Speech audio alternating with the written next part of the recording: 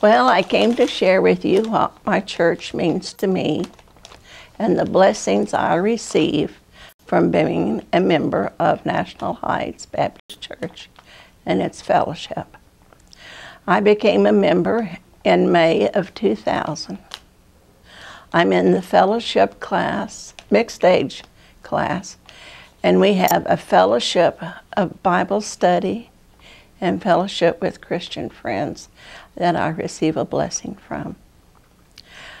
I'm a member of the Prime Timers, and we have uh, uh, programs, music, and different speakers, and we take trips.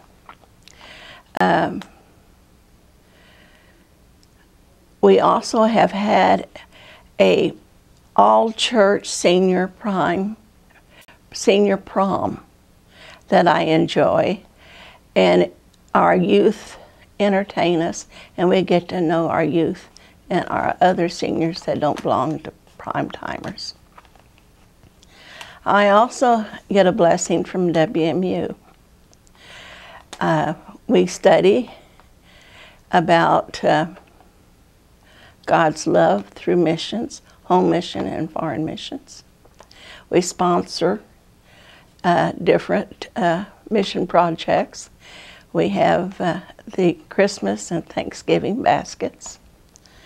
Uh, we have uh, a women's quilting, and we make quilts for um, Grand Oaks Mission.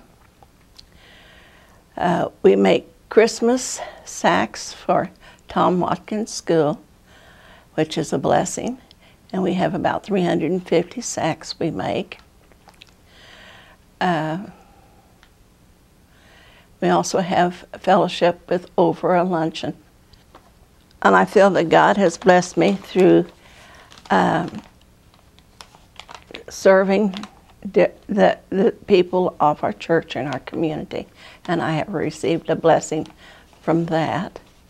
And I enjoy just being in, in the church and with God's fellow Christians.